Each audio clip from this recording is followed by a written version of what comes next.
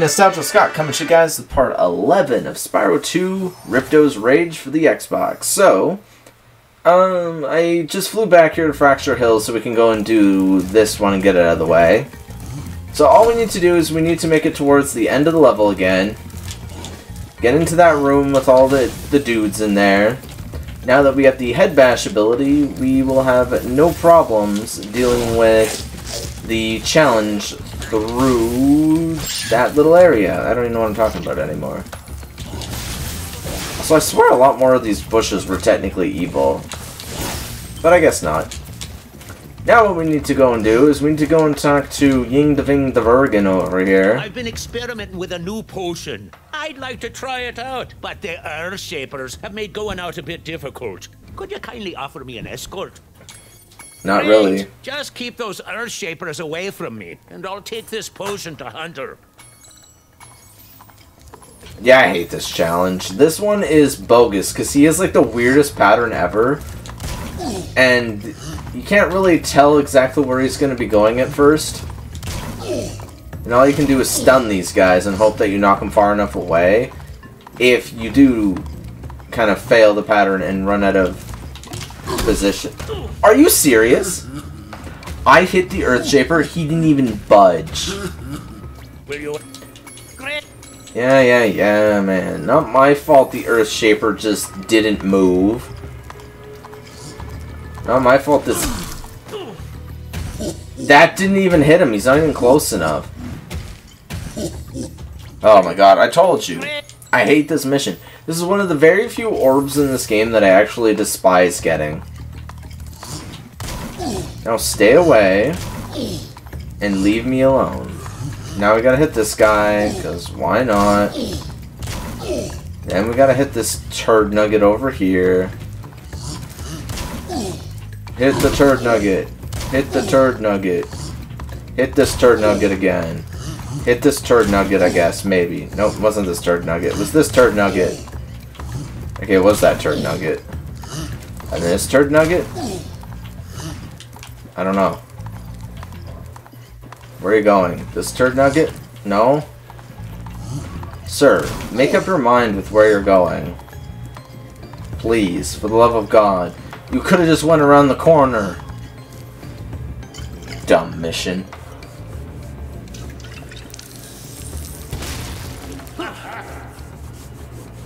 Man, do my feet feel better.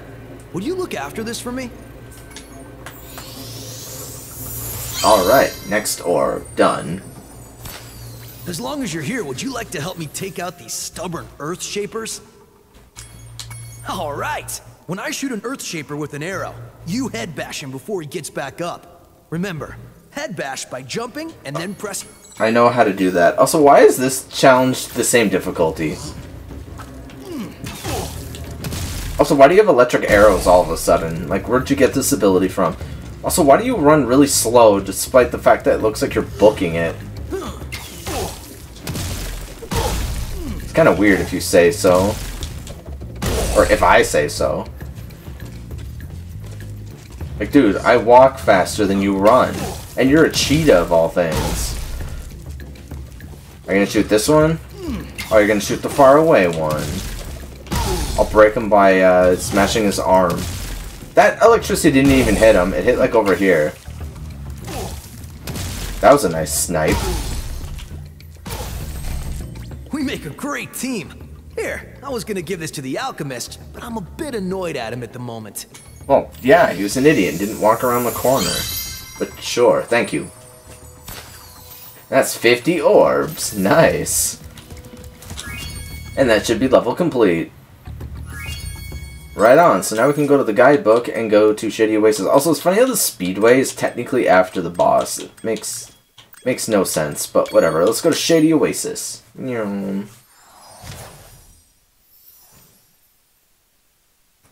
The adventure continues. With a cutscene we've already seen before. Alright, and sadly we have to do this again. I know. Eat it, you pork chop. Can I eat it? Gulp. I'm huge. Why am I not huge, game? I wanted to eat it too. See, unlike the other level, though, you kind of can't just rush to this point, because you have to wait for this diddle-doddling friggin' potato man. Why are you so slow, Shorty? Here, eat it. Oh. That's one fat hippo. Ow.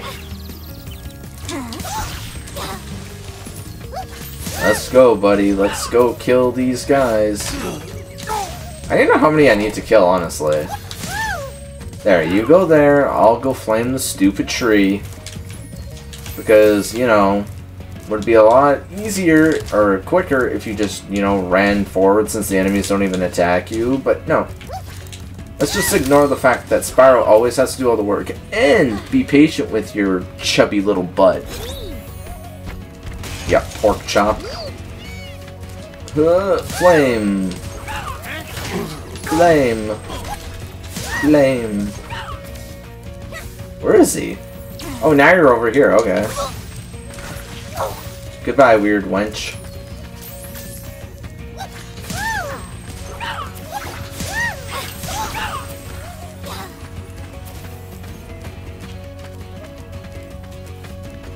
I guess if you just walk, it's pretty much super easy, but... Man, come on, dude.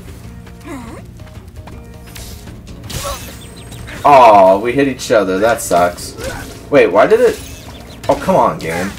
Why did it not shoot where I wanted to? It shot literally in a straight line. That, that was... That made no sense. This game, I tell you, man, it just makes no sense. Now run him over, please.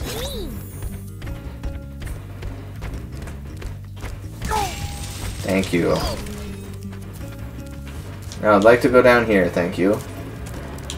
And smash open this and grab all the gems. There we go. Now we can do this challenge. Your eight brothers? Oh no. Why are your eight brothers petrified in stone and coming out of the sewer? In toxic goop. I hate to tell you guys this, but uh, I think you may be idiots. And also, why do you all look the same?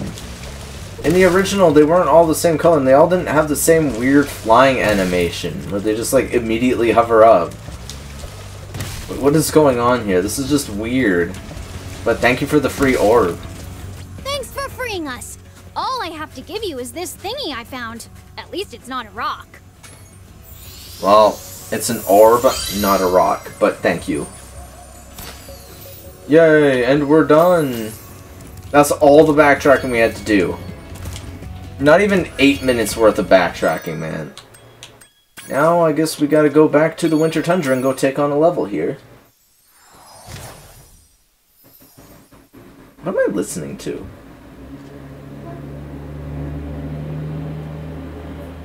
Oh, it's snow plows outside. I thought it was somebody talking. It was just snow plows. Elora, don't go like you're gonna tell me something and then just straight up not tell me anything. Uh, okay. Wait, no, I already got full health. Anyways, do we want to take on Mystic Marsh? Yeah, let's go take on Mystic Marsh. Oh yeah, I think now we'll put the gem total in. Yay! 4,300 gems.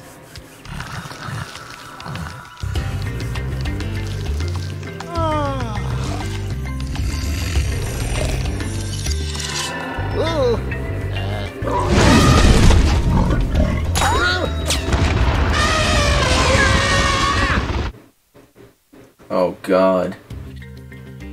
Okay, so it looks like we need uh, 20 uh, enemies to get the power up here. Also, if you want the achievement, you're supposed to charge the monkeys in the trees. Not flame them, but I don't need it, so it doesn't really matter, but I'll tell you guys how to get it anyway. Achievements... I don't know why half these ele elephants, half, excuse me, half these enemies are elephants. Or like partial elephants, you know? Why do I hear a big elephant over here? Oh. I thought they just fall over. They don't even just like die, they just fall over. Like, ugh, I'm dead. Wait, this monkey is throwing Wumpa fruit at me. That's what it's doing. It's from Crash Bandicoot. I knew it was up to no good. Evil monkey. It's those monkeys from Crash Bandicoot and those vases in the, the Sphinx levels, man. Okay, Mr. Monkey, I don't care about you either. How many enemies do we have? Let's see. Ugh. Ugh. Wait, you teleported. You weren't there. Goodbye, Mr. Monkey Monkey. Wow, all this money too, man. We're getting tons. But like I said, this is the entire level. It's just one little area. This level is really, really small, but it's not necessarily short. Also, it's got weird purple goop surrounding the outside of it, which makes no sense, but whatever. Now, I do believe we have to glide over here. And this will actually trigger another mini game. Or, I guess, like, challenge. Not really mini games. Let's do it. Ah, Spyro, so glad you're here. I'm perfectly useless without my trusty pencil, and I seem to have lost it. I do have this extra egg. Perhaps you can trade it for my pencil. I don't know why this has a difficulty challenge, but yeah. So, what we'll have to do is we'll have to do like a little like trading game. But for right now, we're just gonna go explore the level, and looks like we can't get up there yet, so, because we don't have enough enemies defeated. So it looks like we can check out what's in this water, which, okay, that's too shallow to dive in, but I see gems over here, so... Oh, look. Platypuffers. Weird enemy choice, but sure.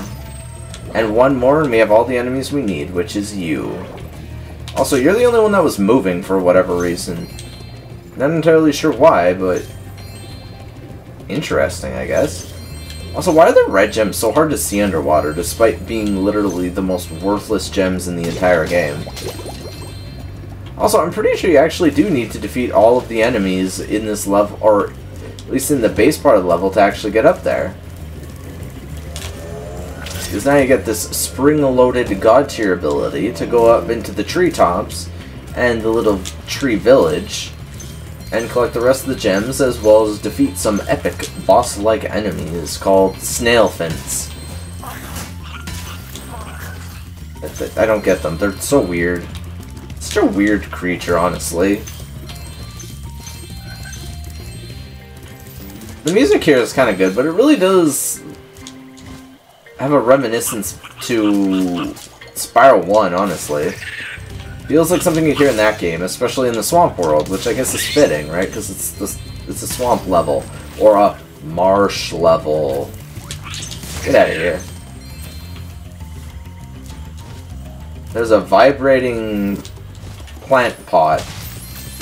Interesting. I don't know why it's vibrating like that, but sure.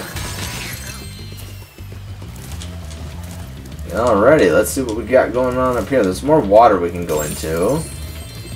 So that could be something. Probably more platypussers. Wait a minute. Oh, that water's not even deep enough to go into. Platypussers, man, yay! They're super cute sounding, but boy are they a pain in the butt. So I'm gonna be a pain in their butt, literally. By headbutting them in the butt. Man, we've killed 32 enemies already. That's insane how many enemies we've defeated. And there's still more to this level. Including more Porcupuffers. Or Porcupuffers. How did I miss that enemy? Kinda want you dead so you're not in my way anymore. Well, no more gems in here. Alright. Oh my god, still more enemies and probably... Why do they keep glitching down like that? That's so weird. Why are you snoozing? Oh yeah, by the way, no more talismans in this game. Yeah, they're they're gone. They're done. They're kaputs. So you actually need this to get this gem over here. Which is a pretty big, beefy gem, so I might as well finish the level. Oh, I, I must have dozed off there. Golly, looks like I let the fountain switch off. Here, take this orb and, um, Don't mention my little nap to Hydrar, okay? Well, your name's Snoozle. I'm pretty sure he expects you to be sleeping all the time, right? Yeah, so you get orbs instead of uh, talismans now. Kind of weird that they chose to do it that way, but I guess it works. And this is the final orb, or no, it's not the final orb. I forgot, we still have to do the Professor's Orb Challenge. But yeah, there's an orb here too. Now, we actually still have quite a few gems to go, but then again, looks like there could be gems maybe in here. Oh, there is. Doesn't look like there's any enemies in here, though. Wait. Okay, this is the spot with the basket. We're missing 25 gems? Wait. Oh, I didn't go into the cave, did I? I don't think I went into here. No, I didn't. Okay, good. Weird that there's exactly 25 gems over in this little area, but... Oh, there was. All fives, too. Nice. So, before we go and do that other mini game for that weird mustachioed man up there, I want to go and do the Professor's one, because it's actually fun and easy. The other one, not so much. Also, why did your... Why was the hitbox on that egg so weird? Anyways, let's go up here. And where we need to go is to this nest over here. So if you guys have never done this before, I'll show you exactly how you do it. And then you want to kind of aim upward a bit. And then we'll trigger cutscene. Hmm. A seed. A seed generally goes in a planter, right? So we'll put this in here. I don't know why it already has vein or like veins, roots, but still. Ugh, that's so weird. And they got a rubber ducky. Uh, I don't even know what you're supposed to be. You're just weird. It's like supposed to be some kind of weird Venus flytrap, but I don't know. Doesn't look like any I've ever seen before, that's for sure. So then you fire this duck to the sad little duck over here. Boom. You trick her into having a baby, which is funny. And then we got ourselves a turnip, which we did see a cauldron back in the cave up here. So who wants to bet that you actually throw it in the cave up there? Actually, uh, it's not even a bet. I just straight up know that's where you're supposed to put it. I think we only have one or two more after this to trade in. This is kind of hard to like aim in this though. There we go, into the pot. And then a gold coin, those usually go into fountains. Even as a kid, I didn't have an issue with figuring out all these, it's kind of obvious. And then Patui. Oops. Wow, those are bigger coins than I have. There we go. And a pencil. Don't know why he needs a lucky number two pencil, but I guess we all have things that hold sentimental value, right? And there you go. My pencil! Now I can begin calculating the age of the universe again. Here, take this orb for safekeeping. Elora thinks I'm going to lose it. Well, apparently you did it, so that's good. But you did lose your pencil. So she was right about you losing things. Maybe you lost your pencil, and then she's like, yeah, I don't want you to have this orb anymore, dude. Now, let's go deal with the most annoying orb probably in, this entire world. This one. Ah, Spyro, a friendly face. A bunch of rotten thieves have stolen my spark plugs and I'm stuck here. Please get the four plugs back. Yeah, and this one is not easy. I think it shows... Wait, it doesn't show you? Sorry. I needed a drink because I thought they were going to show me where they were. Ah, there's one. Kangaroo Jack. There we go. We got Kangaroo Jack before he or she went into there. Kind of sounded feminine, so I don't know. Men can be feminine too, but I don't remember them sounding like that. There we go. And then there's the easy one over here that kind of just runs around in a circle. Then there's the one that rides the or runs across the rooftops, which is the annoying one. Uh, oh, there we go. And now we have to kill the last one, which is going to be the entire length of this video. I'm pretty sure he starts right over here. Ah, there he is. Get over here. Also, isn't it weird that the thieves, for once, aren't actually thieves? Considering in Spyro, thieves have been thieves since the dawn of time. I don't even know how, like, you're supposed to actually gain distance on this guy. There we go, we got him. I had to cut that really tight. Woohoo! I'm back in business. Here, young dragon friend, take this. It's museum quality, but you deserve it. Thank you, Basil. You kind gentleman human you. And there we go, we beat the level. So anyways, if you guys enjoyed this video, remember to leave a like, comment, subscribe, hit the bell for notifications, join the Discord and Patreon links below, and in the next episode, we will probably go to a new level.